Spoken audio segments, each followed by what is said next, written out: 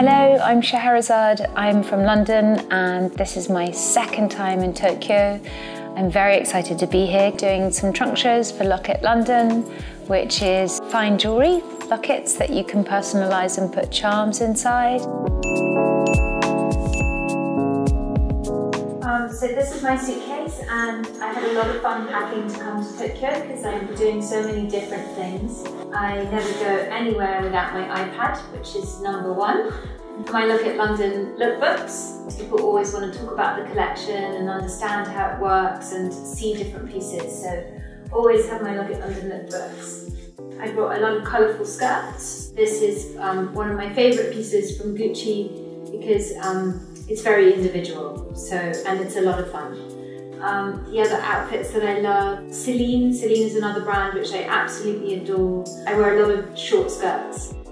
And this one reminds me of um, all the stones that I work with, my jewelry, jewelry brand. So like emeralds and sapphires. And I plan to wear warm jumpers and trainers and jeans um, every day in Kyoto. Another brand that I really love is Prada been a fan for years and I love colour. So I love colour because it um, uplifts you, particularly if it's a bit grey outside. So this is a scarf um, from India, from Delhi. I travel there because of the jewellery, so I generally wear it on the aeroplane. Um, I'm a little bit frightened of flying, so this keeps me warm and makes me feel cosy.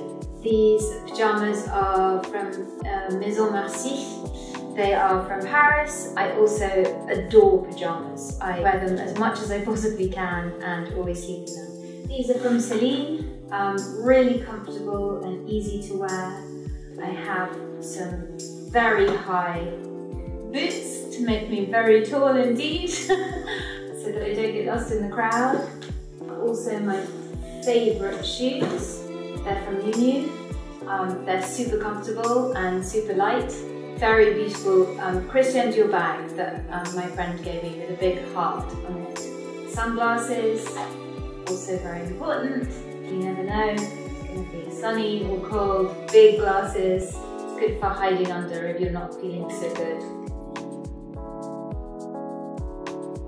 And then the other thing that I never travel without is um, my camera. It takes some really great photographs. I try and bring this out when it's important. So this is for Kyoto. So I always have lots of books in case my mood changes or I want to read something else and I love reading um, international literature so I'm a huge Murakami fan. Inside my wash bag I have a lot of Chanel makeup.